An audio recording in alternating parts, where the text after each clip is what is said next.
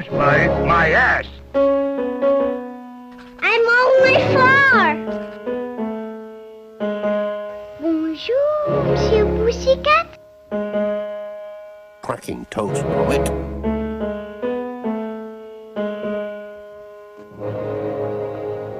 To start uh, spreading the news. Hello, everyone, and welcome to the short podcast about short films. I'm your host, and we are discussing the Academy Award for Best Animated Short. Today's episode is about the 27th year of the award at the 31st Academy Awards, which celebrates the films of 1958. Today's guest is a very good friend of mine. Please welcome Madelyn Moss. Hello, Madelyn. Yay! Hello, hello. I'm Hello. happy to be here. I am very happy to have you. You you've been a longtime friend of mine on the, this health side of Twitter. Or so Oh, it's, like, it's it's an honor to bring you into some of my like creative stuff. Um, Yes. um, and uh and this is a very special episode. I, I specifically picked it out for you, and we'll get into Yes. why. But before that, Yeah. uh, tell us what is your familiarity with this best animated short category? Um, I okay, so um we're gonna we're probably gonna go more into it, but I had seen at least once two out of the three. I had never seen um obvious I think the most obvious one and the most obscure one is I'd never seen Sidney's Family Tree, but I am very fam- I'm very familiar with Looney Tunes, though I got into the process of knowing actually I'd never known which ones were were nominated for Academy Awards. Um, so I found that out recently, and um, and you know I'm I'm I'm usually into Disney shorts, which is why yeah, but I'm really into Looney Tunes. I I mean I I think uh the it's hard for me to compare Disney shorts and uh, Warner Brothers shorts from this time because they were so different. Like they had very different Mhm. approaches, but I like them both in different ways. I'm not that familiar with Terry Tunes though, so I'm looking forward to hear that from you. I, I was referring to like the category as like a whole, like over the years and stuff. Oh, um, it's, I, I- understand the confusion, but yeah. Oh, sorry. The category, as far as I usually, I haven't really been keeping up with the category unless it's like, I, usually, uh, and this is kind of bad, but um, I've, I, um, I mean, I, um, you, you can say you don't care about the shorts. It's like that. I that's mean, the I- entire reason why I'm making this podcast. make I mean. I, it's not like I didn't care, but it's always felt like, you know, like se- shorts to me always felt second to features, which is so bad. Like it shouldn't be that way, but I always am like, I always want to watch the features before I watch any shorts because I feel like shorts are quick and I could just be like, yeah, put those on in like a day or whatever. because, you know, they're usually less than an hour, I'd say, Mhm. normally anyway. Yeah, it it's like although on the flip side is also true. Like if you're trying to get through like all all the Oscar nominees or whatever year, it's just like you can get like like 10, 15 nominees out real quick by just going through all the different shorts in a year. It's like- right right. And and, i've like, always wanted to like do like you know because like century and amc will have like a shorts marathon and that's you know three hours and you kill them all. But like i've never done that eh, which i should. I feel like i should. Uh, yeah, it it can get pretty fun and at those short screenings. Like, well, recently, especially when it comes to live action and documentary, they're very depressing. But animated short yeah. tends to be pretty fun. Uh, yeah i mean and i like you know don hertzfeldt stuff and uh you know disney got back into um having their shorts be nominated because they play before you know like uh their features and pixar movies and stuff so i Mhm. like some of those so i've seen i've seen like you know i i mean i am definitely more fond of this era of animated shorts uh as we're gonna discuss Mhm. yeah, you're a big fan of the Disney, the classic Disney and Looney Tunes. Uh, You're probably into Tom and Jerry a little bit as well. Yes, I, I am into Tom and Jerry, and then uh, other Tex Tex Avery's been nominated a couple times in this category, and I like his Yes. stuff. Uh, Yeah. He's he's had different stuff with MGM and Warner Brothers. Yeah, he So it, it's kind of funny how Tex Avery, like he, like most directors tend to stick around with one studio. Like Chuck Jones is at uh, Warner Brothers, and then right, and you have Disney's uh, Yeah. old men and whatever. But like, Tex Avery like, likes to jump like around. whatever his name is. Yeah, yeah. Well, Tex Avery apparently was just like so sick of shit at Warner Brothers that he was just Mhm. like, "Fine, I'm going to MGM." And Yeah, and and, and then where it went. MGM fired him in like the early '50s, and he went over to Walter Lantz Productions. of all places, wow. Well, yeah, like Walter Lantz Productions ended up being like one of the last breaths of like the theatrical animated short, or it's just like we, we'll get into it later, but like they were one of the few to make it into the '70s before getting uh, eventually shut down. Oh my Um, gosh. Oh, But- that makes me Yes. sad. Uh, so let's get into these nominees finally. Let's talk Sure. about the shorts we're here to talk about. Yes. Uh, this year has only three nominees. Uh, our Mhm. first nominee and the year's winner is Knighty Knight Bugs, directed by Friz Freleng. Uh, this is the first nomination and first win for producer John W. Burton, who took over Warner Brothers Animation after Edward Selzer's retirement. Uh, this also marks the 20th nomination and fifth win overall for Warner Brothers and the Merrie Melodies slash Looney Tunes series. And as for the characters, this is the first win and third nomination for Bugs Bunny, and the first and only nomination and win for Yosemite Sam. Uh, Knighty Knight Bugs starts with court jester Bugs Bunny being sent off to fetch the singing sword. Upon arriving, Bugs easily walks in and grabs the sword, but once Yosemite, Yosemite Sam and his dragon are alerted of his presence, hijinks ensue as Yosemite tries to get the sword back. Mads, start us off. What did you think of Knighty Knight Bugs? So, um, this short, I think it's good, but I feel like it's such a random Bugs Bunny short to be the one to win, you Mhm. know, best animated short. Definitely. Like, It's, I mean, it's not a bad short. There's like funny moments and stuff, but I wouldn't call Knighty Knight Bugs like such an all-time classic short. yeah, you know it- what I mean? Or even a classic Bugs Bunny short, to be honest.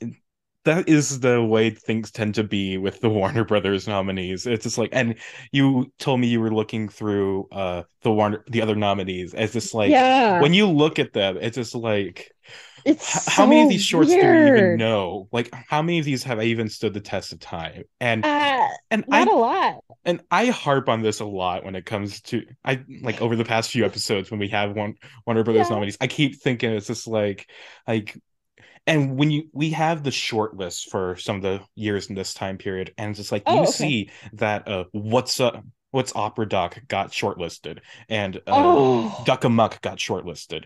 And, and those weren't nominated, but instead we is my favorite. and then instead we get like three or four Speedy Gonzales shorts, and Sylvester Yeah. is the most nominated Warner Brothers character with I think eight That's nominations. so interesting because I mean, not that Sylvester isn't like one I like, but Mhm. you know, you would think it'd be more like a Porky Pig or a yeah, or Daffy Bugs Duck Bunny, Bugs or Bunny. yeah, Daffy Duck has never even had a nomination, and, Oh and my Porky Pig just has one nomination. I think it's a Swooner Crooner in the forties. Oh, not even Porky and Wacky Land. Wow. Know. Which Yeah. actually was this category even ex- did this category Oh, yeah. even exist? Okay. this, this category started in the early 30s, and so like Porky and Wack- Oh. Was like late 30s. oh my gosh, that makes me so upset. Also, sorry ahead of time. Uh, my cat came in, and I don't know if she's gonna behave. She loves to misbehave. Um, it- I we'll we'll work around it. We'll edit around it.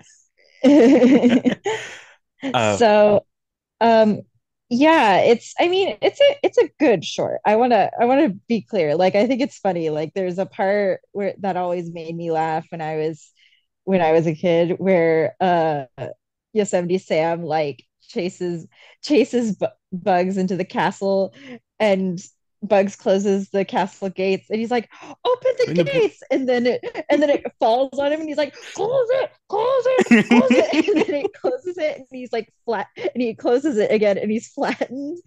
Um, that gag made me laugh. Um, and I love all the names, you know, like sirloin of beef. Like Mhm. they make they make that joke quite a few times in the Tunes shorts. They're they, I mean, they tend to repeat jokes usually, Yeah. but that yeah, and then even with like, you know, the dragon, like it is it's supposed to be like a you know, they talk about the dragon like it's like, oh, it's so scary, but it's like a stupid dragon, you Yeah, know. it's just a dog. yeah, it's it's like a silly dog that doesn't know like what it's doing. Um, and I mean, it's it's it's fine, but it's mhm. not like, you know, it's not what's opera doc or, you know, like Wabbit season and, you know, some of the like you can get a good even something like maybe it's not like an all-time classic, but you know, like baseball bugs, like some of the Mhm. the I think Golden Collection has some of the best Bugs Bunny cartoons, and um, not many of them, if any, besides Knighty Knight Bugs, were nominated. And maybe like a what's the other one? A wild, a wild Hare, I think Yeah, a that's wild hare. Uh, Yeah, yeah. and and that's a good one. I saw that I actually they played that one on film before I saw What's Up Doc in theaters at the New Bev. So that was very, very fun to watch Oh. that. I got a I got a taste of what it was like to see a Looney Tunes short before a movie. Yeah, I know. I hear about like screenings like that where it's just where they like try to mimic the experience and have like short films and newsreels and stuff. And it's like, oh, I want to do that so bad. I But know. I wish that was still a thing. I love Maria Menounos, don't get me wrong, but like I want I want to hear like and breaking news today. and yeah, they should just have like a New Bev sponsored short films or something. It's just like I I feel like that'd be a good thing to do. It's that just would like be you wonderful. and it's like it's a free way to get like the Oscar consideration later on uh, because you know you're playing in theaters and all that. And it's just like I feel like it'd be fun. It's just like Yeah. like just just keep like the length down to like five minutes or less, and like I feel like most people would wouldn't care. It's like most Right. people arrive after the sh- the showtime anyway. Right. Right. Yeah, exactly. And um as far as like other nominees um and other winners, I think like I don't know, there's some odd ones. Like I like Birds Anonymous, but that's such an odd short to be like hmm a win like a winner. Yeah, Um I mean it is pretty funny, but like yeah. It, it's just a weird. like we talked about it last week, of course, or and it's just like it's good. Like I I really liked it, but it's also like uh it doesn't seem like the kind of thing that's like, oh, this is the best that Warner Brothers had to offer this year. Let's give it Right. Oscar. I think the National Film Registry has the like the four best ones, or at least like four ones that are like all time classics for sure, like Porky and Wacky Land, Duck Amuck, One Froggy Evening, and What's Opera Doc. hmm Like, I think those are four that people are like, oh yeah, these are these are representative of like some of the best Warner Brothers had to offer.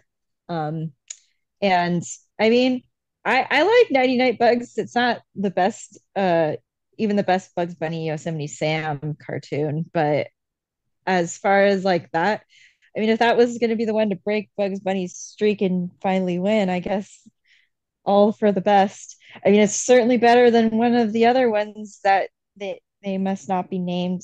The other Bugs Bunny short that isn't a wild hare or Knighty Knight Bugs.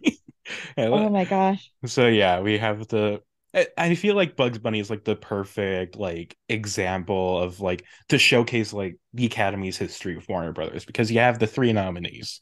You have Yeah. a Wild Hair, which you know first or or the first time that Bugs Bunny like really was Bugs Bunny, he and it Yeah. is hysterical. It's one of the Oh greatest yeah. Warner Brothers It's shorts so out there. funny. Uh, and then you have Hiawatha's Rabbit Hunt, which is you know it's like a Wild Hair if it weren't funny and was instead racist. Yeah, then it's oh, it's so bad. and then we have Knighty Knight Bugs, which is fine. It's fine. It's fine. Yeah, It is fine. nothing special, but it is Yeah, still a Warner Brothers cartoon. It has some good I gags in there. Uh, yeah, and so like and that's just kind of the way things go with Warner Brothers. And meanwhile, it's like if we look over at like Tom and Jerry, every single one of the nominees for Tom and Jerry is like a classic, or like they have so many nominations that they have to nominate the not classics in order to just fill it out. Yeah, yeah. I wonder if um I constantly I, I was wondering when I was looking at the nominations uh for Merrie Melodies and Looney Tunes um that I wonder if Knighty Knight Bugs was kind of like an apology for not giving it to a wild hair or something or like being like uh there's so many good Bugs Bunny shorts. We just need to award them already. I mean, I don't, I can't read minds of the Academy voters in 1958, but I have to wonder just because, you know, Bugs Bunny is now such like a staple in Looney Tunes and is um there's so many classic cartoons that maybe they miss maybe they were shortlisted but were never nominated and they were just like, oh fuck, we need to have a Bugs Bunny cartoon win one of these days, I guess. I, I it I is possible that I that it could Mhm. be like a kind of a de- delayed Oscar, like a legacy win or something. yeah, also- or consolation, yeah. I- I also just don't think that they care enough about this category to even think like, you know what? oh, Yeah. like we should, like I feel like something like like uh Tom and Jerry getting 13 nominations and seven wins. That was just because they kept on being like, oh, Tom and Jerry, I like them. They're my favorite of this lineup. Boop, and then it's just like they just happen to get that many wins. Is and it's just like I.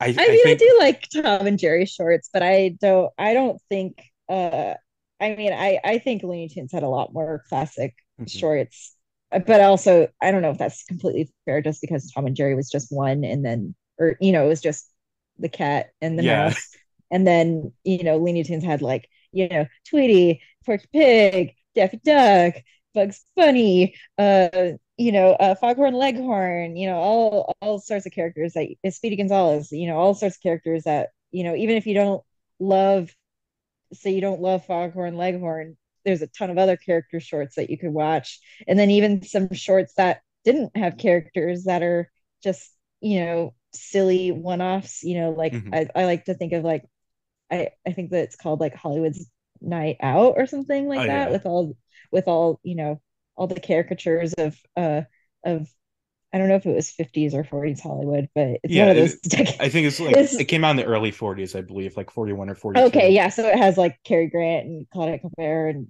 Judy Garland, like Marx Yeah. Brothers, Clark Gable, like you know, and um, and you know, uh, I don't know that MGM also popped out as much shorts as uh Warner Brothers did. Warner Brother, Warner Mhm. Brothers, and or even Disney. Warner Brothers and Disney just had so many shorts between like the 1920s and 1960s. So Yeah, I, um, I think you're underestimating how many Tom and Jerry shorts there are. I mean, I know there is a ton. lot. And just I, like that, there is a ton. That's true. and then there's there- also just everything that Tex Avery was doing with all yeah, like whatever, a Drew, the um, Droopy droopy the shorts and, and, yeah, uh, and and Scrappy Squirrel or whatever. yeah, screw, screwy squirrel. Screwy That's- Squirrel, yeah. yeah. I, Yeah. You know what's funny? I've never watched a screwy squirrel. Neither have I. I need to change that. I I do too because I, I I'm not doing well and somebody who loves short form uh, cartoons from the you know pre 1960s. it's like I've seen a Ham and Hattie short, but I haven't seen Screwy Squirrel. So I think I I've need to seen change like that. and I've seen like all the censored 11 shorts because Oh, they God. I know I I don't know why one day teenage me was just like I'm gonna find all the censored 11 shorts and I think I permanently messed up my brain chemistry by watching all those Yeah. it was curiosity Oh, killed the cat at its best uh example Yeah, that's just uh anyway. Uh but yeah, it's just going back fine. to uh 99 bugs. let's get It's- it's let's get back on track here. Um yeah something I wanted to say is that just like I feel like there was just a lot of missed opportunities that they could have done with this short because it's like Mhm. they have the like Bugs Bunny is this court jester who gets sent off like in in in the stead of all the knights like, to go and get the sword the, the singing sword that they make a and it of literally sings yeah like it, it does it's it's kind of like a theremin or whatever it, it's or it sounds Yeah. like one uh, and it's just like i feel like they didn't do much with the actual like theming of it. They just kind of defaulted to just standard kind of looney tunes gags which is like you could have played a lot more with like like everything you have with you. It's just like it's like uh Bugs Bunny is only in his jester costume in the first scene, and that he just co- yeah they were like it's to too expensive to put him in it the whole time i guess. It's just like you you can see how like the the budget for a lot of these shorts is is dwindling at this time period because we we are entering like like the dark Yeah, the days of theatrical 60s, anim- yeah. animation right yeah um several studios have been shut like mgm has been shut down already. Disney has gone to just has shut down their shorts division and when they make shorts it's just by their feature films division. It's like things are falling apart behind the scenes so it's just like and you could tell like the budget's going downhill here. Yeah yeah because there's a lot of samey uh, settings and stuff too mm-hmm. in this one. I mean i i do i do think the the dragon sneezing gag is pretty funny, but they also don't do a whole lot with that either. Mm-hmm. Um, until like the end where he literally catapults them into the moon. yeah. Oh yeah, the, the rocket ship up. Uh, and it's just like I feel like there's a lot of like they try their best to reuse as much animation as possible. Like I, right, they spend right. a lot of time on uh uh Yosemite Sam sleeping in the early yeah. parts of the short. There's just a lot of shots of him in there. Or, but, yeah, he he just sleep. Yeah, he's a tired boy. Yeah, he just sleeps through Bugs Bunny walking past, and it's not or, until the sword or sings. different ones where he's like flattened. Yeah, yeah, it's There's just a couple gags where he gets flattened. yeah, it's just this isn't really exemplary of like the heights that Looney Tunes could reach, has reached. No, it's, it's just like apparently they have a, a statue of this at uh, Bugs White Water Rapids. It oh. is a log flume ride at Six Flags Fiesta Texas in San Antonio. Apparently, well, let's it's go. Pretty, it's a pretty nice statue. I mean, I guess it's the it's like Six Flags. They call it one thing and then they have one thing and then suddenly it's like a themed attraction. It's not they're not like Disney or Universal where they have like immersion. They're just like, yeah, this is a regular carnival ride with like Wonder Woman slapped on it or something. That always makes me sad. Like, I don't think Warner Brothers has an uh, not to go on a tangent, but Warner Brothers doesn't have a great like theme park presence the same way that Disney or some Universal properties does. Besides maybe like Harry Potter, that that's mm-hmm. about it. Yeah. Which, eh. um, you know, because I think like a Looney Tunes Dark Ride or like you know other Warner Brothers properties like you know DC Comics and stuff like that would be such a cool like dark ride and stuff like that. But they just yeah. kind of like do regular rides and then slap slap the character on and they're like, yeah, it's a Bugs Bunny ride or it's a yeah. Superman ride. But um yeah, it's it's just an okay, it's an okay Bugs Bunny short. I wouldn't consider it like a must see or a classic mm-hmm. uh, as far as like, you know, a Bugs Bunny or Yosemite Sam um uh you, you know, yeah. short like Bugs Bunny Rides Again is a better one. Um and uh there's other better Fritz Freleng shorts, honestly. Mm-hmm. Uh because Friz Freleng, I mean, he it's funny, he used to have an hour uh they used to have a time block dedicated to him on, on cartoon network um which uh based I, yeah he's he rules uh we like we like fritz fritz Freleng. um yeah. and the uh, academy really loves friz Freleng. like most of yeah. the warner brothers nominations are friz Freleng shorts like yeah only a couple chuck tweet, jones in there Tweety Pie and Birds Anonymous are his, and then like Sandy Claus and Mexicali Schmoes and stuff. Oh, it's just like they they sure love that Fritz Freleng. yeah. yeah, I think all all of the Looney Tunes ones are actually okay. No, uh, Sentimental Reasons is Chuck Jones. Oh, okay. And okay. then, but yeah, I think all the other ones are Fritz Freleng. Yeah. Like dang, because usually you know people tend to remember like Chuck Jones and yeah, Tex Avery, like... but I like even like amongst casuals, I don't hear Fritz Freleng's name a lot, which yeah. is kind of odd because he he's made some pretty great shorts, um, and some classic Looney Tunes shorts. So kind of odd that he's not really in the mix. Like he did baseball bugs, which is one of my favorites. And he did Rhapsody Rabbit, which I like a lot, and Little Red Riding Rabbit and Bugs and Thugs. Yeah, um, he, he's done a lot. in fact, he did Bugs Bunny Rides Again, which I just talked about. Uh, that's a that's a Fritz Freleng, and that's a better Fritz Freleng Yosemite Sam Bugs Bunny short. Uh, yeah he's done a, yeah he's done a lot of good ones um uh he did he even did a couple uh Sylvester ones that I like, like Back Alley Uproar, where Sylvester's an asshole who just sings really loudly when Elmer Fudd wants to sleep. I don't know why I think that one is funny, but it, it really it really really is. Um but but yeah, it's just like I I feel like I'm repeating myself across all these episodes, but it's just like like if you any if a if you ask just like a random like film person just like to name a classic uh animation director they would probably name chuck jones because he Yeah. is he's like the only name that's gotten like he has all those different video essays analyzing his work or Right. like- and he also has not not just the Looney Tunes shorts but he also did like how the Grinch stole Christmas and all that uh, it's just like love.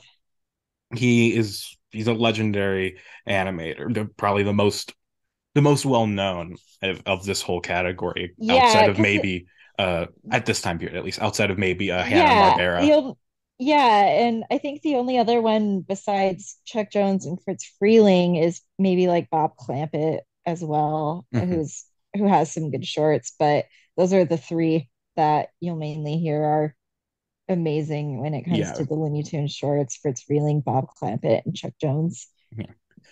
and uh, Oh, and on, a Tex com- obviously. on a completely uh different topic uh I out of curiosity I went I looked at the short list of for this year or and I Uh-huh. was just curious like if there was another Warner Brothers nominee this year and there was uh there Oh. was uh, The Mouse That Jack Built, which is a Robert McKimson film, which apparently is just uh, about the Jack Benny program. It, it stars Jack Benny and a a bunch of people who are on that show. And it's just like, What the heck? Oh, And- wow. and the I plot is like seen- fo- five, six paragraphs long.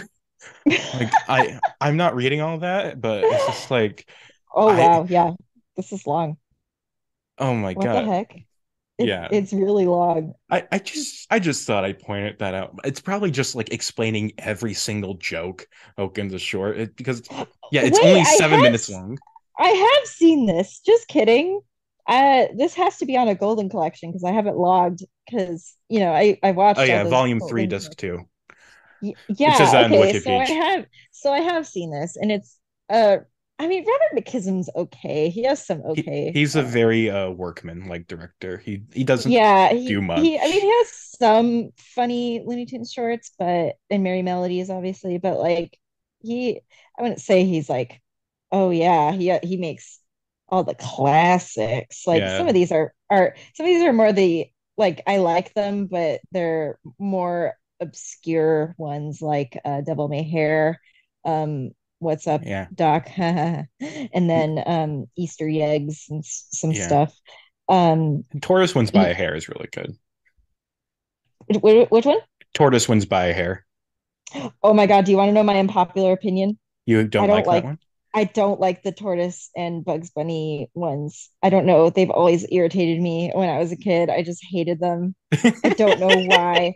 I don't I wish I knew why. I I don't know. Sometimes I would just listen to them and I'm like, I hate this. Um I have seen I, the one I do like from him is uh I the Gorilla My Dreams is pretty funny because that's the one where uh Bugs Bunny gets adopted by gorillas and it's like Tarzan but funny and with Bugs Bunny and very short. because he because he's like trying to get along with this with this gorilla man and he just or gorilla man he's just a gorilla with this giant gorilla who and he's just he's having all these hijinks with him. It's so silly. And Mhm. then rabbit's kin is pretty funny because there's like a little rabbit and they um they outsmart a puma. Like there's some he has some good ones like Mhm. but uh I don't know why I don't like the ones with uh the tortoise the tortoise and Bugs Bunny I just never have for some reason Well, I'm gonna have to revoke your Warner Brothers stand card. oh no I- I- I'm just sorry. Oh no Okay, I'm gonna give it back now. oh yay, yay. I'm. I'm very happy about that yay um should we talk about okay what what should we move on to Oh yeah, I was I- about to ask you. Is this like, are is, there anything else like you like to say about 90 but night bugs, or shall we move on? Uh, we can move on. My uh, all I will say is please watch more uh classic Merrie Melodies and Looney Tunes on HBO Max. if you have Oh yeah, they Max. have so many. It's it's not everything, It's but it's a lot. Yeah, it's so many good ones too. So please watch those. I need more people to get my uh my quotes because not enough people know my quotes. Only my parents, which is very sad. Uh, yeah. But anyway, uh, our second nominee is Paul Bunyan, directed by Les Clark. Uh, this is the 34th nomination in this category for Walt Disney. Uh, this Mhm. short tells the story of American folk hero Paul Bunyan, a very, very large man who becomes a logger, cutting down trees with ease. Uh, he traveled the country with Babe the Big Blue Ox and created many historic landmarks and helped many people along the way. However, with the invention of the steam powered saw and the steam engine, Paul's talents were challenged, and it's man versus machine. Who will win? Uh, I I like this one. I like it. Uh, I I have a kind of affinity for like American folklore and stuff. Like I love like the tale of John Henry and stuff. Of and and Johnny Appleseed's fun and Paul Bunyan. He, he's he's a big guy. Like how how can you not love He's a big, guy? dude. You you gotta love the big guys. And and Well, I I like him more because he's voiced by Thurl Ravenscroft, who I love um with all my heart. yeah, Tony the I Tiger.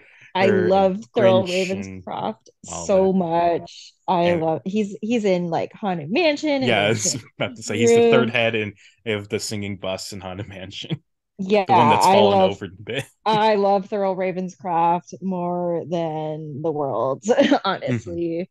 Um, and uh, the answer is uh, colonialism one. I can't believe I'm saying this. Yeah. um, I've actually, this was the first time in a while that I had seen this short for some reason, and I don't remember the context, but I watched this in school like over 15 years ago. Mhm. I don't remember why, but I remember just learning about American folk heroes and stuff. yeah yeah maybe um and because i remember uh he i w- what i remember very clearly is when he's wrestling he's roughhousing with the ox and Mhm. they're making like sierra peaks and shit Yeah. Like I used to- for some reason when i was a kid i was like oh that's how land was actually formed like this is a documentary. yeah is, is paul bunyan a kaiju oh, series Oh yeah, he's he's an American kaiju. Him and Babe. I can't believe they like had a socialist society where they pitched in to raise him. Like, damn. I, I Um, want to see the the Pacific Rim movie where they just fight off. Oh my god, Bunyan. they use Paul Bunyan. He's punching the kaiju. I love it. or Um, Paul Bunyan versus Godzilla or something. yeah, Paul Bunyan v- versus Godzilla versus Kong. Like, Actually, versus I, Clifford I the Big want this Dog. now. Like Jesus Christ, we we need Ver- Paul Bunyan versus Godzilla versus Clifford the Big Red Dog. versus like- Clifford versus the fifty foot woman. Yes, exactly. I love I love her. I love she's such a girl boss. Mhm. Um I do miss this era of like 1920s to 1960s uh Disney shorts. Um I think there's just like I don't know. I I say this all the time. I miss that when Disney was just genuine and wanted to make I mean they've always had a profit incentive Yeah. for before all else, but it feels like it's more coming from a genuine place of wanting to tell good stories and be uh and be you know family friendly not kid friendly there's a difference Mhm. um, between making things for a family versus making things for just kids you know they they this era i i miss this era because you know like they aren't so and and warner brothers you know clowned on them a lot for being so genuine but i think like you know it works like Mhm. there's a reason why people still love a lot of Disney uh, animated shorts and even their features from this from you know between 1920s and 1960s because they are just they they're so simple and but so you know warm and stuff unless that's just you know my nostalgia which Yeah. is possible i'm willing to examine that i'm not a disney adult says the disney You, you are a Disney adult. Like, I- um I'm just outing you to the podcast with, Oh with- no. with ones of listeners. Can can you can you add a critical Disney adult because I'm not somebody who's not willing Yeah, to yeah, you're, you're, you're I, I'm kind of the same way. It's just like I I enjoy a lot of Disney stuff, but I'm I'm also like you know very aware that they are very imperfect and very And- bad and at, they- at a yeah. lot of things. Yeah, and Bob Chapek, if I see you in Burbank, it's on site. That is a threat. um, and uh, you know, it's it it's I like it. I don't think it's like their best short, obviously. And if this had won above Knighty Knight Bugs, I wouldn't have been like s- super upset because um it's it's cute. It's a little repetitive because you know he goes he goes to a place, does some work, goes to another place, does some work, Mhm. rough houses with an ox a bit, and then goes and then goes to another place, gets gets fucking owned by capitalism and, and then fucks off forever. Yeah, I I really like the the format of it where it is kind of like testimonials from different people who knew Paul Bunyan. It's like Yeah, first you have a guy from the guy who like first found him in the big ass crib. Which how, Yeah, how did they even the get hell? there? Like how, What the hell? You just washed up on shore or some shit. Yeah. They're like They're like- Godzilla. Godzilla just dropped him and it was just like, here, Yeah. this is it. Like the he's the he's the child of like the giant from Into the Woods, and he was just like and he fall he tumbles head ass into earth. and they Yeah. like, uh shit, not getting him back, I guess. yeah, and, and then you have the guy in the Midwest with the great accent just talking about him, yes. him logging whatever, and then the, the guy who fixed the river for and everything, and then Oh my gosh, that's such a cute visual when he like fixes the the river from being like, you know, so oh, oh fucking loopy weird. loopy. He Yeah. he just pulls the or he has Babe pull the river tight. Oh, but also those those beavers work very hard on those dams. How dare you? Well, it, it wasn't the beavers. It was just like because it was so loopy, like the, the cross streams getting like just made it all yeah. like clump up. Like they they were they were getting clogged. yeah, Um, he literally is like old fashioned Drano, just like whoop. um, but um, you know, I I love I I like I said, I love Thurl Ravenscroft and I love yeah, I love hearing him in anything in The Grinch and uh in around Disney parks and other, you know, he he does like he's he does a he did a ton for Disney, like uh in theme parks and in movies because he's background voices in a lot of 50s, 60s, and 70s Disney stuff. Um, and I think he was active until his death, actually, too. I'm pretty which- sure. Yeah, he was Yeah. Like, What a what a what an awesome dude. I like him. I think he should be like a household name, to be honest. he should He- be. he's so cool. Um, and uh, that ox, there's no way that fucking ox was alive after. What the fuck? that ox was frozen to death, and he was just like, "Here, I'm gonna put you in the fire." He is big and blue. He can do whatever he wants. This is true, actually. and but I cracked up at um the Northern Lights part because it reminded me of steamed ham. I, I thought the same thing. Aurora Borealis. He's like, well, Paul Bunyan, I hope you're ready for an unforgettable lunch. Well, That's what the guy with the steam engine said Oh before he kicked his ass. I hate that guy, by the way. I don't know. Like, is he, is that, is that machine really that much better than Paul Bunyan? It only gave like half an inch more, right? Like, Yeah, it's on. just like, and Paul Bunyan's a big guy. Like, he can do a, big lot. dude. It's just like the machine needs to be like fed like oil. I guess Paul Bunyan also needs to be fed to kind of make that clear. Yeah, Um, but it's like the uh, the way they the way the society works is apparently this is a socialist utopia where everybody's willing to pitch in for him. So like is Paul Bunyan secretly about socialism? I don't know. Although the, this uh, short is kind of like secretly like anti-progress propaganda. It's just like things should be as they were. You know, Yeah, they were they were like, oh, technology bad. Mhm. New inventions bad. We need a giant man who's able to do everything.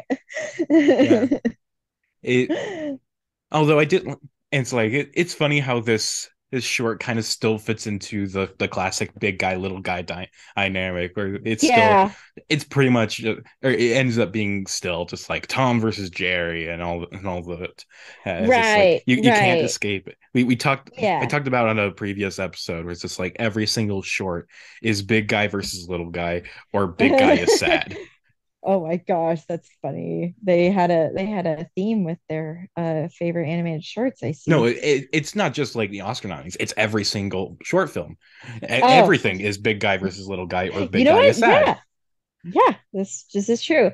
Um, and watching both, I mean, even though Knighty Knight Bugs is not like the best that Warner Brothers animation had to offer, but watching Paul Bunyan and Knighty Knight Bugs back to back, I'm just like, God damn, Jennifer Lee, get on the 2D animation again. Fuck. I miss 2D animation so much. It just feels like I don't know, not that 3D animation has no care, but it's just a different kind of, you know, yeah, like it, it's like it, it's it, it has its own like things. It has its own things it's good at, and so it's just like we. It's it doesn't help anyone to like completely get rid of like a whole style of animation. I like- know. Ugh, it's it makes me so sad because you know I love you know all these short form cartoons like they they used to I mean you know they pumped a lot of them out and Mhm. not all of them great but like there's some really fun and funny and like one of my favorite I mean I you talked about Winter Der Fuehrer's face. I think Der Fuehrer's face is really funny I um that's one of my favorite Disney ones and very uh very Antifa. And not to go on a tangent but I hate when people like clip clip that out of context and be like look Disney made pro-Nazi shorts. Is just like um you've clearly never watched Der Fuehrer's face. Yeah.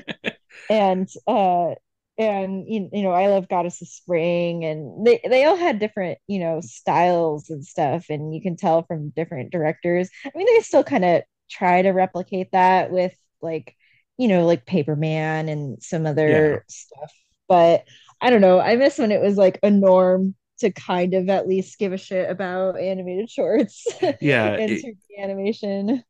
Yeah, it's we're in such a strange time where it's like animated shorts are kind of making a comeback because it's like there's a lot of like uh crowd-funded stuff like hair hair love was a big thing and and all that and Yeah. it's just like like I feel uh, it's I feel like Netflix is doing a lot of like shorts and stuff like kind of Yeah, even- just so they can add Oscars to their name but also just because they they just kind of are making them people watch them yeah, it's a it's a streaming is probably like a good way for it to flourish anyway because at least you can you know it's easy for people to see them.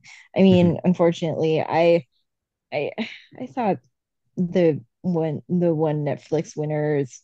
oh uh and and if anything happens I love you Yeah, it's it's it's very schmaltzy. Like, I I I do not like that one we'll, we'll get to yeah, that I don't know. You there. will. Yeah, you'll in, talk in about a it. two but years. it's it's like uh, it's it uh, it, it It's- it's very yucky. Yeah, but well and it's it's um it's very it's I don't know it to me it's very manipulative it you very know what I mean very So- manipulative. It so but I hope they make better ones I hope but yeah, they, it- the the point is is that they're making them. They they are producing Yeah. or at least distributing them. It's and I like, like, that that was the big thing. That's they need yeah and I like distribution. that I like that Disney still tries to put them before Pixar shorts and Mhm. um and uh Disney films. Like I love Piper. I think Piper is the cutest thing I've ever seen. and that's a 3D one. Yeah, Um, I I also love yeah. like the Spark shorts and the short circuit thing that I have on Disney Plus now. Where it's just like Yeah. like all these different Disney and Pixar animators are getting their own space to like show what they can do and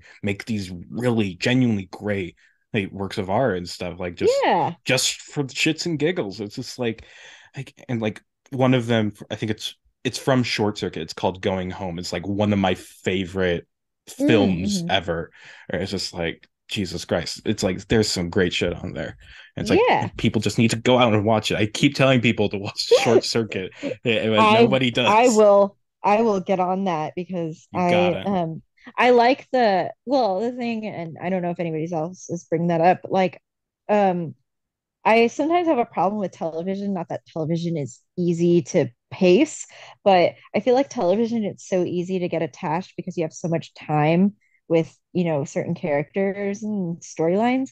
Whereas I feel like there it's kind of a challenge with film with feature films and short films. Like you have to make people care in like, you know, Yeah. like with a short, it's like between like five to, you know, like an hour and then a, Yeah. a feature an hour to like three hours or maybe even four hours. So like, you know, I've always liked that. That's why I've liked I've preferred films as like an art form rather than television, even though, you know, it's not saying I don't like television, but Mhm. you know, I feel like it's easier for for you for somebody to care when, you know, you have like when you're dedicated to watching them, you know, for hours and hours and hours from all these episodes and stuff. So yeah. Speaking of not great, do you want to talk about Sidney's family hold, hold on, hold on, hold on. I, I, Oh, want to, I want to talk about what you were talking about. This is a banter. Oh, yeah. Uh, it's like I just wanted to say, it's just like, yeah, the the thing about short films, it's like you have only so long in order to like yeah. get people to care about your characters and then give them a story. Yeah, and so it's like it, it's such a big challenge. It it, it, it kind of makes it funny how it's just like like all these like college student film school students, it's they're given like one of the hardest challenges in film to yeah, make something seriously. engaging with only 10 minutes of time. Oh my gosh. like- yeah. But yeah, it- difficult. But yeah, it's really a tough thing. It's just like, and then just going back to Paul Bunyan, it, I I think the short works. I think Paul Bunyan Yeah, is a cute. good is a, it's a good story. Although I I feel like it's not as great as like John Henry is like one of my favorite. It's probably my favorite uh, American folk hero, American folk tale. Oh, Mhm. it's just like I I forgot that like Paul Bunyan kind of ends with a, a John Henry kind of thing where it's like it's fighting against the machines and the progress and all that.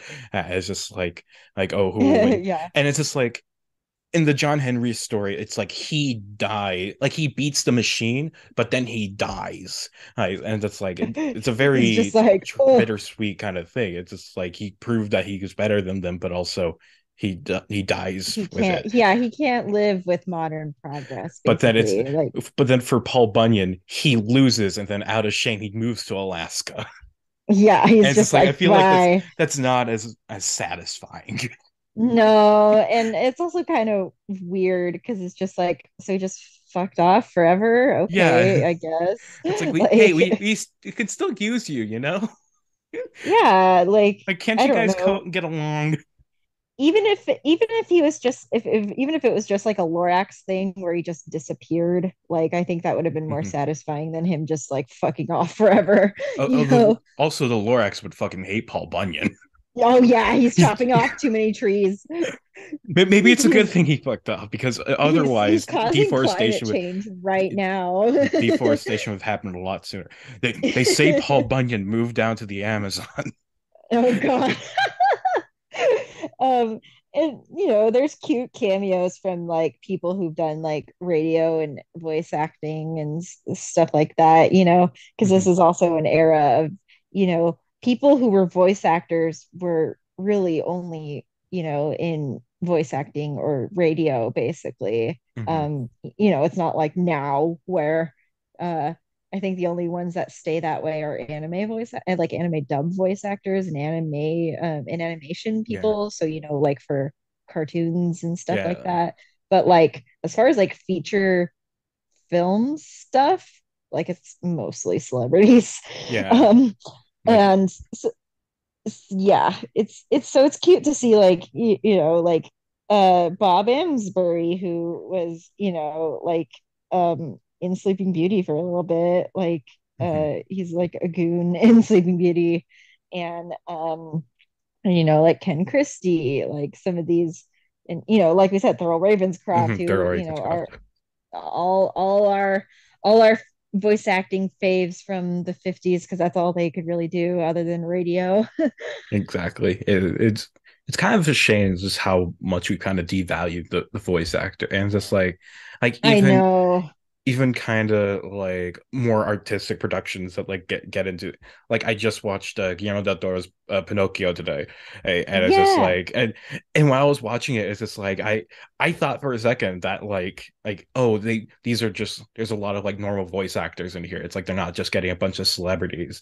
But then I look at the cast list and it's all celebrities. It's, you have like, like, yeah, it's like mostly celebrities. It's, It's like- it has some new people, but also some like yeah, a Yeah, lot you of celebrities. Finn Wolfhard as Candlewick, uh, like Tim Blake Ewan Mc- Nelson is the yeah, Ewan rabbit. McGregor as uh, the cricket, and, and, and then you have Cate Blanchett voicing the monkey. And yeah, that, like that is why was that necessary? it's like she's and it's like I know like the monkey is talking at like like talking in regular at regular English at points for whatever reason or somehow, but it's just like but it, she's also doing the just monkey voices. Oh, oh, yeah, like oh, oh, oh, yeah, it's so weird. Um, But it, I guess it works. It's just like th- these are good actors doing a good job, but it's all.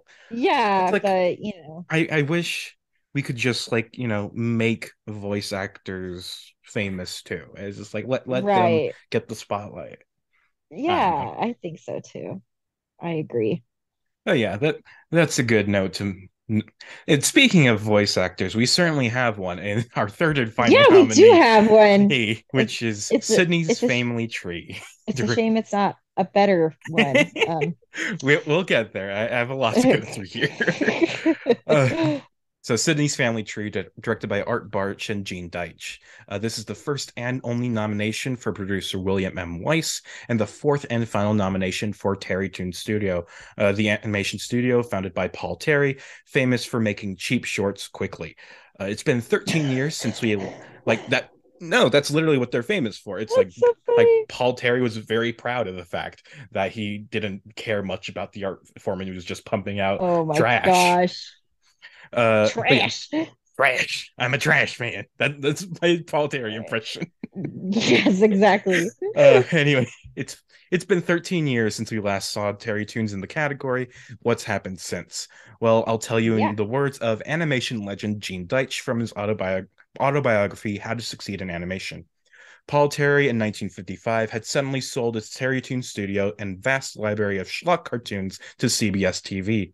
The studio manager, one William Weiss, would have the job of juggling those ancient cartoons into weekly kiddie shows on CBS TV, whereas I was given the golden job of turning lo- a loser cartoon studio into a winner, complete freedom to reinvent Terry Toons, to make a creative renaissance. A sure winner, right?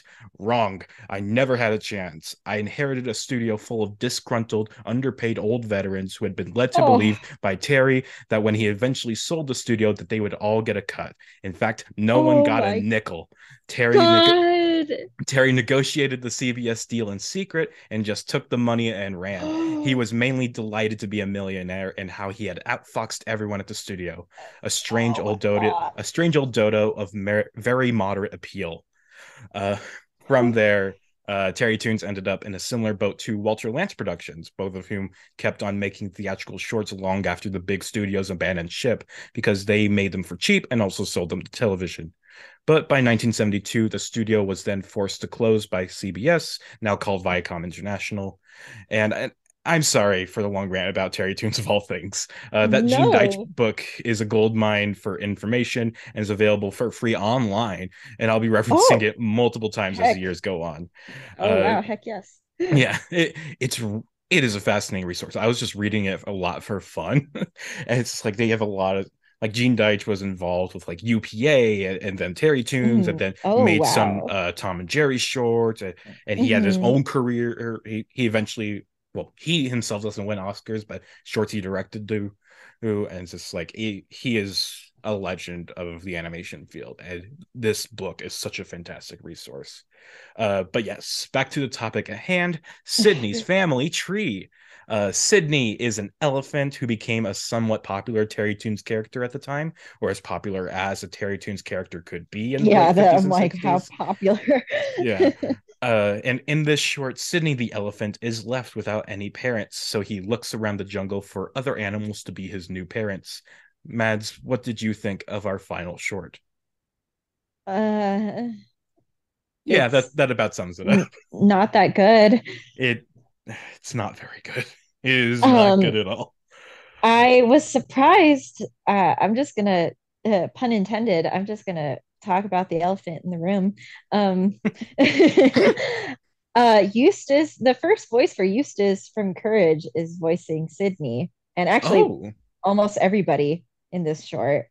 Um, yeah, and I was actually surprised to read that because it sounded a lot like Ed Wynn, like he was doing an Ed Wynn impression, you know, the guy who voiced uh, Mad Hatter in Alice in Wonderland and other did other Disney stuff. Like that's what he sounds like to me, or like he's trying to do an impression. But uh yeah, it's uh, I the whole time I was like, damn, no one want you for real. And um the the only scene that made me chuckle was when uh he gets scolded at by the father gorilla and it it's like sped up and I'm just like wow this predates a YouTube poop I see?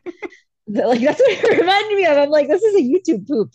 Um and uh I didn't have much else other than like I was just like wow okay um and you know it was funnier it was funny because it reminded me of a short I talked about earlier which was Gruesome Gorilla which is a Bugs Bunny short where he's adopted by gorillas and that's better and you should watch that instead because it's funnier and more entertaining because I don't know I don't even think the animation in this is that great and I realize they they were doing cheap stuff but you got to understand I still watch like Scooby-Doo Where Are You episodes and Mhm. Hanna-Barbera is cheap as fuck Oh, um they repeat stuff all the time and I don't care but I don't know it's just visually it didn't look that great and I didn't find it all that funny. So there wasn't much for me to say or grapple onto to enjoy this because I didn't. I just I, I feel like the history of Terry Toons is a lot more interesting than this short.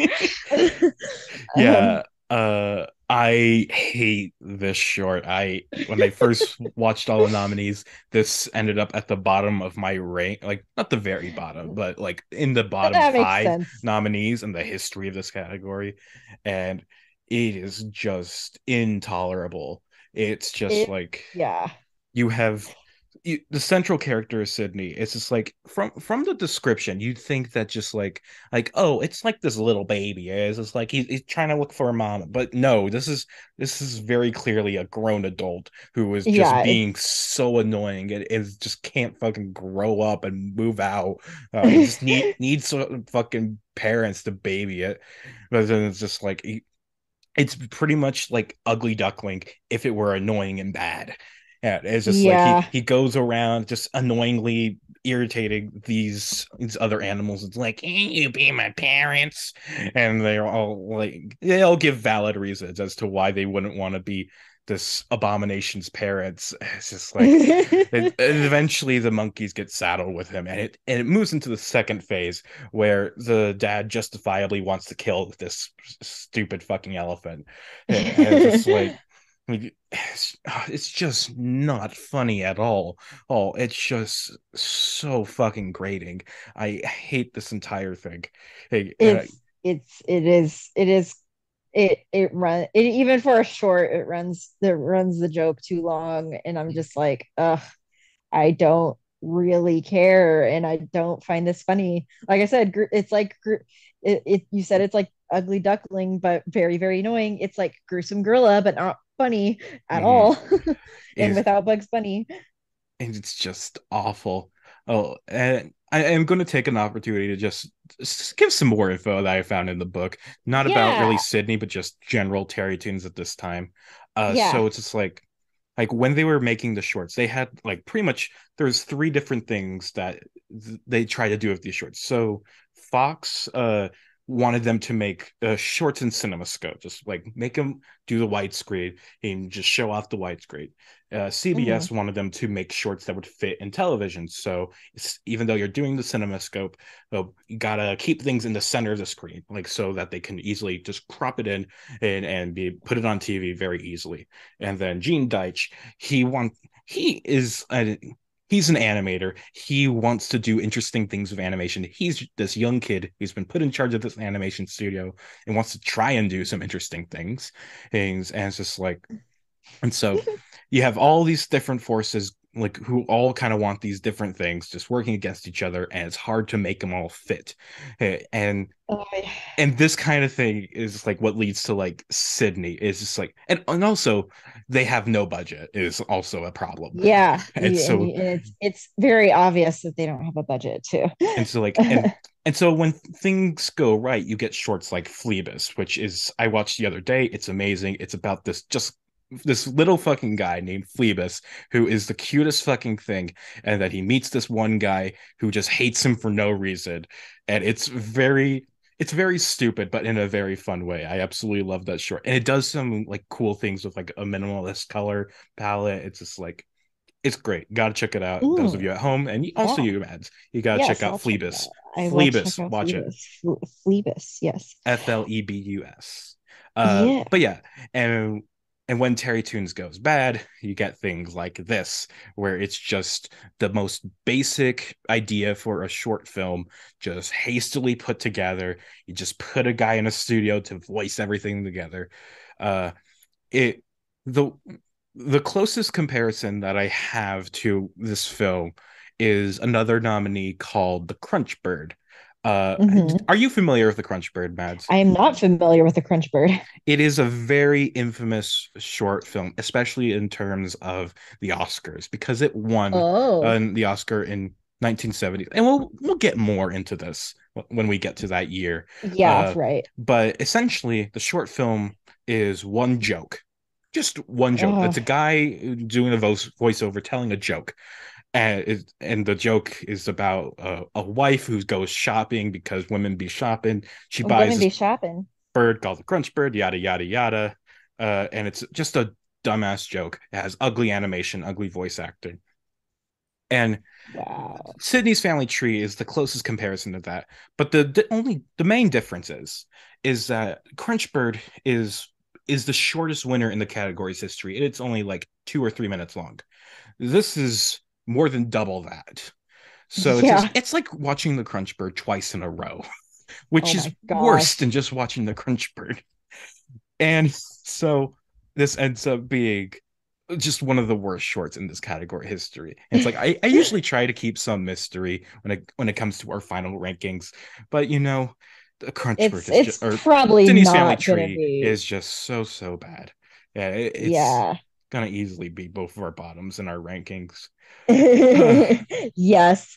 Um, I gotta say, as far as uh how do you pronounce his last name? Deitch? Deitch? I think it's Deitch, or but I don't know for certain. I have a history of mispronouncing names. like, and I'm sorry, I- John Hubley and Stephen Bosustow. I um am not that I am not all super familiar with John, uh, Gene Deitch's uh, stuff. Besides, I've only really seen obviously The Sidney's Tom- Family Tree, which ugh, and then um I've seen Where the Wild Things Are. Oh, um, oh, his yeah, his version. Um, I only watched that because my brother is named Max, and you know, my, my parents were like, "Oh my God, his name's Max." Uh, and so, um, but uh, I've seen some of the Tom and Jerry shorts, but as he's not worked on a lot of good ones because these are like early 60s, Yeah, it's- it's the kind of Jerry shorts. people kind of infamously don't like his Tom and Jerry shorts. Well, yeah, and you know, nobody loves this era of Tom and Jerry or even Looney Tunes, to be honest, because Oh, yeah. you know, like you said, the ba the budgets start to really be slashed, and there's just not as much effort being put into them. So, um, yeah, I wouldn't call his Tom and Jerry shorts classics or anything. Um, apparently, people hate his Hobbit short, which I haven't seen. I've only seen like obviously the Peter Jackson movies and the um the what's his name? The Ralph Bakshi? animator. Yeah, Oh. Ralph Bakshi. I've seen the Ralph Bakshi version, but I haven't seen his version, which predates the Bakshi version by uh, a decade, Yeah. um, 66. But um, no offense, uh, he doesn't seem like he's. Uh, I mean, I'm sure he's a nice. He he well, he's dead, but I'm sure he was a nice guy. But He only I- died a couple a couple years ago. yeah, he was 2020. That wasn't that long ago, but Yeah. um from stuff I have seen, I'm just meh, not not the greatest. Yeah. Not the greatest shorts, I gotta say. I haven't seen Monroe, which yeah, I was about to say, uh, watch Monroe. That's a great one, and, and it's also going to come up in this category soon enough. That's, Oh, 19 neat. That's Awesome. 1961. It, it won, uh, also, Oh, oh, interesting. Yeah, so yeah. so, watch Monroe. I it's great. I mean, like, yeah, I don't know. Sidney, Sidney's family tree is just, yeah, it it's it's not very funny. It's kind of ugly to look at, and very ugly to look at. it's and then it and then I don't know anything that Art Bartsch has done he either. he's not much of a like he he's certainly like a long time like w- person who's worked in this industry but he in terms of directing he hasn't done much of note Yeah, so I say the most interesting thing about this short is that it's the first voice of Eustace in Courage, uh, which is kind of wild.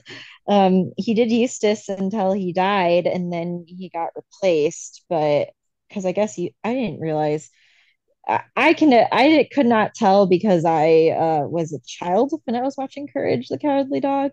I did not know that Eustace went through a couple voice actors, but um you know, I fig I, I thought that was the most interesting part was like finding out like, oh, uh he he got he got voiced by uh his name is uh Lion, Lionel Wilson, I believe. Um yeah, that's the most interesting part. Yeah. Um he, he voiced Eustace from episodes 1 to 33 and then got replaced by uh, Arthur Anderson from there then on forward. Um but yeah, it's uh that was the most interesting thing because for seriously, the whole time I was wa I was watching, I was just like, is that Ed Wynn? And I thought it would make sense that it was Ed Wynn because Ed Wynn, you know, did a bunch of voice Yeah. acting um even during this period before he died in 66.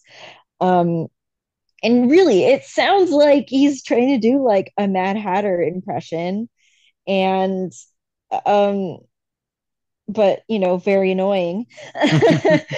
Um because it sounds like he's trying to say how you know why why is the raven like a writing desk?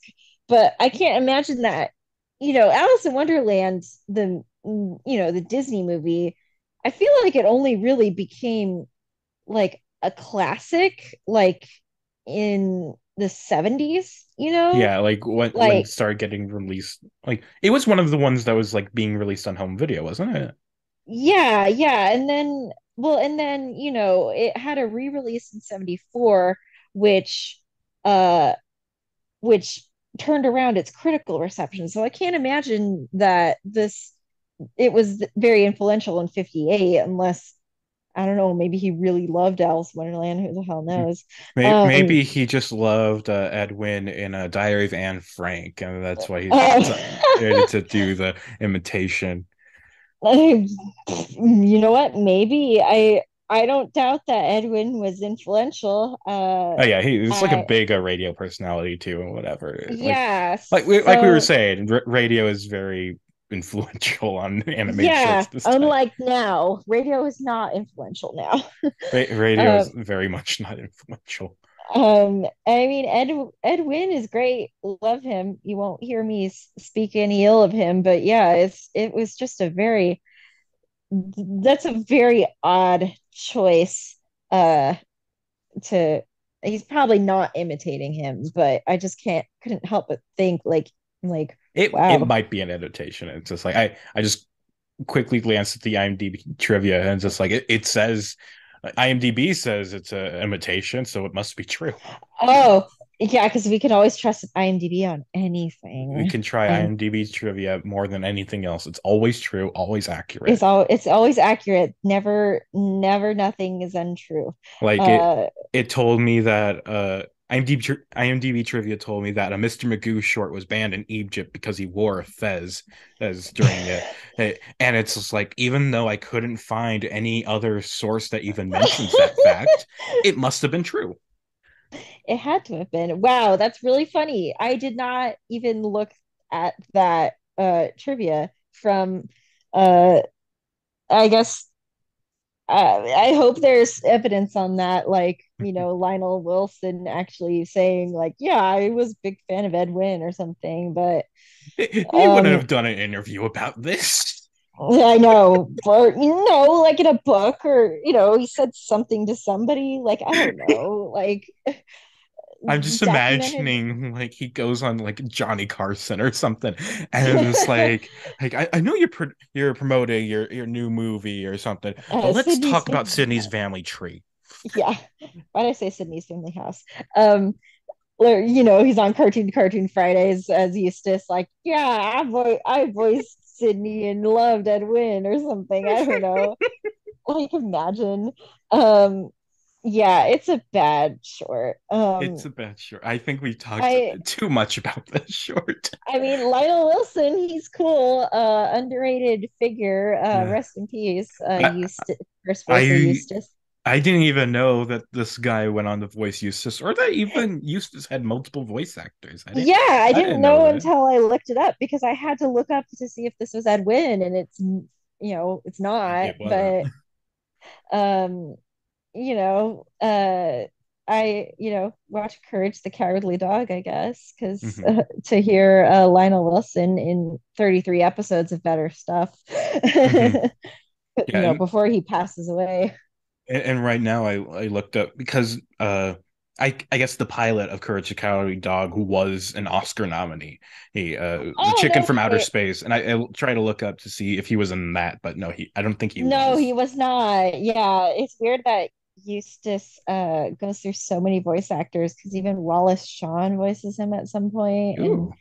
he got uh, apparently in the Fog of Courage. Um, is that? Oh, it's a short. Um, it's a short from 2014. Pretty cool. okay. Um, well, I think I think I know why. We we've talked so much about Lionel Wilson, like more more than I think anybody would have expected. Yeah, I know, but he he he rules. He, Yeah, I, he- he does. Uh, lots of these people rule. Yeah, yeah, we lo we love we love voice actors here in this house. Yes, we do. All right, Uh, we've talked about too much about uh And now that we've gone through the three nominees, let's rank them all. Madelyn, start us off with your number three. I know it's going to be a surprise. It's yeah, it's Sidney's family tree. It sucks. Yep, Sorry. Uh, we said so much about Sidney's family tree. It's also my number three. It also sucks. Uh, now for the tough part. What's your number two? Uh, you know, mm, Gotta pick one. I know. I I Paul Bunyan or Knighty Knight Bugs. You gotta pick one. Uh, you know what? Just this is gonna this might shock you, but I'm gonna put Knighty Knight Bugs here Ooh. because I mean I think Bugs Bunny definitely deserved an Oscar win, but it wasn't this one. Um, I mean, I, and like like we said, it's good, like it's it's fine, but it's not a classic Bugs Bunny short. It's it has its moments, it's pretty funny, but it's pretty repetitive and um not the best in its gags and animation. So uh I have to put it at number two. I I wrestled with this in my head even as I watched them all back to back. I was like, do I really like put Knighty Knight Bugs at second? And I I think so, unfortunately. Mhm. Uh, my number two is also Knighty Knight Bugs. Maybe I Uh, should have put Paul Bunyan there to challenge you or something, but I just I can't I can't do it. No, I I force you to go first, so you can't steal my opinions. Yeah, that's this is true. uh, Actually, yeah. but yeah, it, Knighty Knight Bugs. It's fine. It's it is Looney Tunes, and Looney Tunes can be good. It can be mid. It can be bad. And this is a mid Looney Tunes short. It's Hey. it's like mid good, I'd say. Like eh. Like Eh. in the it's it's like a little better than mid, but not quite like, oh my God, great, amazing, you know. Like it's it has its It- moments. It's the generic idea of what a Looney Tunes short is. It's Yeah. i- if you yeah. fed Looney Tunes into an AI, it would gen- it would create this. Mm, yeah, 99 bucks, yeah.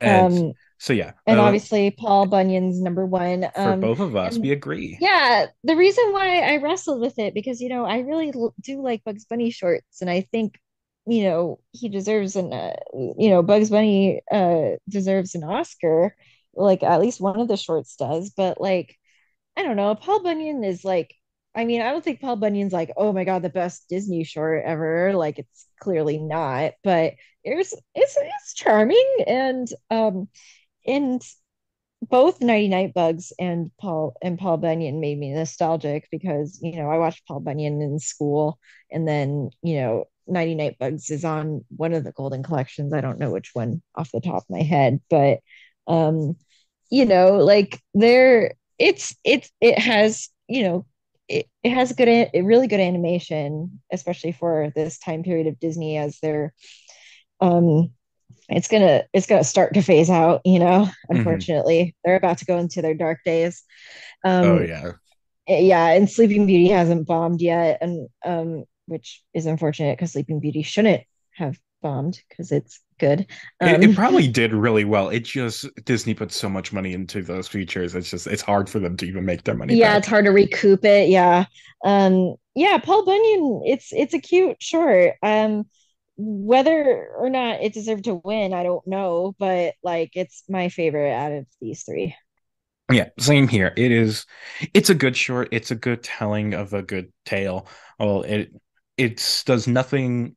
It there's nothing to really complain about, is there? It's like, yeah, maybe... it's not like groundbreaking, but it's simple yeah. and effective. Like and you it's, know, it's well animated, even if it is a, a it does kind of show that it's a bit cheaper than like some of Disney's earlier shorts. Yeah, even some yeah, even something it, like you know Goddess of Spring and stuff like that. Yeah. Yeah.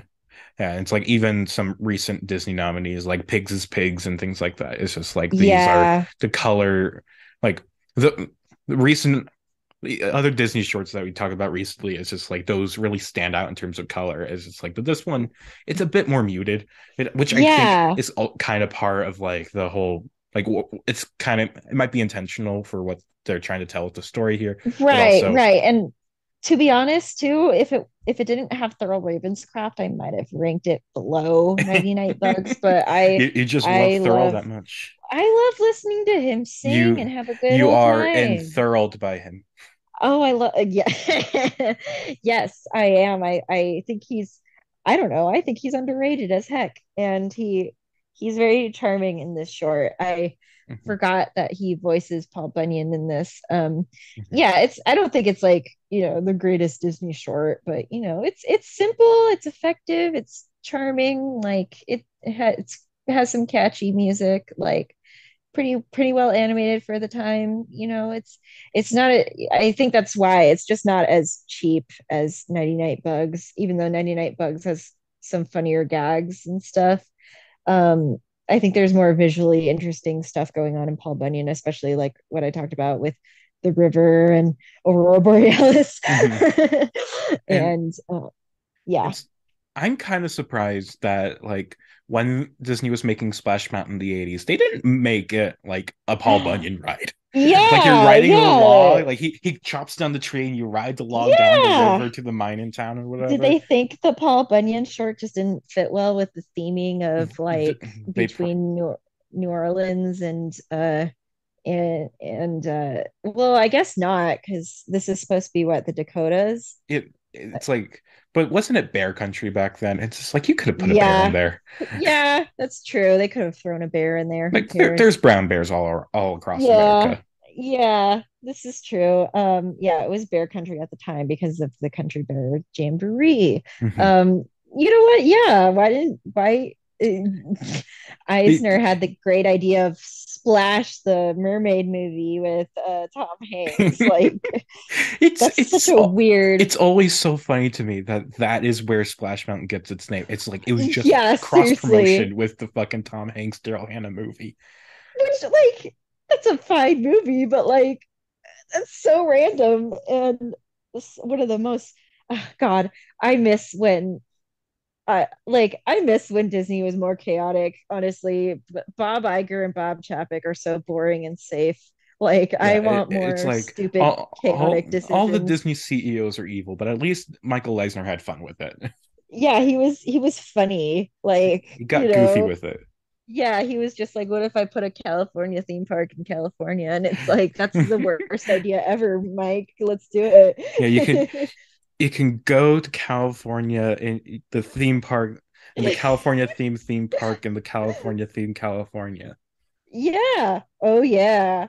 Um and or like, you know, let's make all these cheap ass bad Disney sequels. Like that sounds like the worst idea, Mike. Let's do it. Like Yeah, it, it- you know, he was like chaotic evil. You know what I mean? Yeah. Chaotic bad, I guess. Like Yeah, he- Eisner sucks, don't get me wrong, but he was at least like at least like I could have fun in watching him trying to cr- I mean he wasn't trying to crumble the Disney company, but you know, it it's like it's like the same watching like, you know, the Discovery uh owner like with all the Warner Brothers Discovery merger shit where he's just like I'm gonna make the worst decisions ever. Mhm. and it's just like, man, this reminds me of the Eisner era, man. Mhm. but All yeah, right. um, Paul Bunyan's a good a good time. Is Paul Bunyan Disney is Plus? good. I don't, I don't know. I don't think so. Ah, Uh, They're missing. I feel like Disney Plus is really missing a lot of opportunities to have like all their shorts and even like all the Wonderful World of Disney episodes and stuff like that. Like, do just like- better, Disney.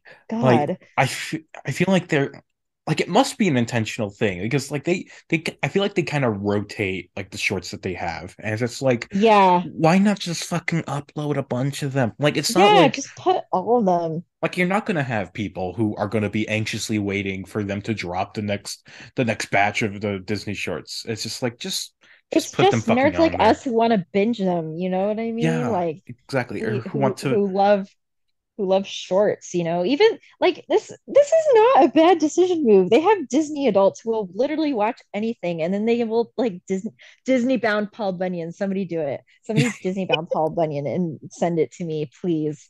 I in fact, you know what? The next time I go to Disneyland, I will Disney bound Paul Bunyan and people will be like, What is this? You just look like a lesbian, but it's just like, no, I'm Disney bounding Paul Bunyan. and, and have your, your boyfriend dress in all blue and whatever In the ox, yes. oh I love it. yeah But yeah, Uh, but yeah, Disney put more shorts on Disney Plus.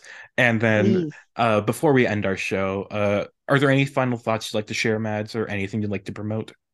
Um, well, I was gonna say follow me on Twitter, but Twitter might be uh just do it. It's un- not gonna go anywhere. unusable. Well, I mean, I it, it might not be going anywhere, but anywhere, but it might be unusable. That's what I that that's why I carefully chose my words on Twitter. I didn't say it was going down. I just said it, it might become And people can see the archive of your tweets where. Yeah, I'm at that odd chica on Twitter. Uh, You can follow me at Ocarina of Persona on Instagram. Um, oh, my Letterboxd is that odd chica as well, but don't expect like a ton of great writing. I mostly am just like like my most popular review on there is a Baby Driver review where I laugh at the fact that uh, Kevin Spacey gets hit by a car. So Mm. um because you know people thought oh no we can't like baby driver anymore with because kevin spacey so like uh no he gets hit by a car and that's pretty nice Mhm. so you know follow me on there um i don't do really do anything else but you know i have some funny takes about things so yeah But yeah. Uh, well, thank you, Madelyn, for coming on the show, and thank you, for inviting listener. me. Thank you, listener, for tuning in. Uh, this has been the short podcast about short films. Until next time, goodbye.